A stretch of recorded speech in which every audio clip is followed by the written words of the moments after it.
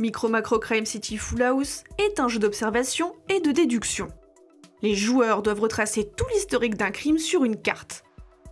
Il ne s'agit pas d'une extension de Micro Macro, mais d'un jeu complet qui reprend la même mécanique. Il n'est pas obligatoire d'avoir joué au premier pour jouer au second. Le scénario utilisé pour cette vidéo est le scénario d'initiation, le sombrero. J'ai tenté d'en dévoiler le moins possible pour ne pas gâcher l'aventure des joueurs souhaitant le faire.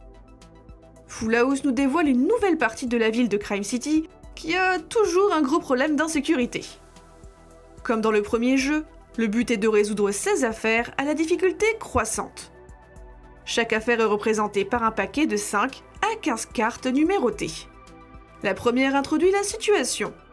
Elle indique le niveau de difficulté sur 5, mais aussi le degré de violence. C'est un nouvel élément qui permet de savoir si le scénario peut être joué avec un enfant ou non.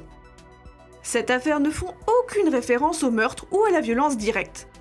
Il s'agit généralement de vols et de menaces.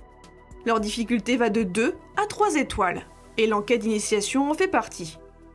5 affaires sont plus classiques pour la gamme micro-macro, et parlent presque toutes de meurtres élucidés.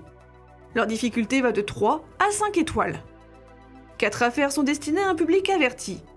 Les thèmes sont les mêmes que les enquêtes classiques, mais avec des scènes plus explicites. Leur difficulté va de 3 à 5 étoiles. Une fois la situation initiale connue, les joueurs sont confrontés à une question.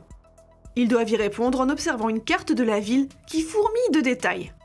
Leur but est de retrouver le personnage et d'observer les alentours. La carte d'enquête est retournée pour vérifier s'ils ont bien répondu, et une seconde question est alors dévoilée. Peu à peu, ils retracent le parcours de la victime et comprennent ce qui lui est arrivé. Il est aussi possible de ne pas retourner les cartes avant la fin de la partie, pour renforcer le côté discussion et déduction. Une loupe est fournie dans la boîte pour mieux visualiser les détails.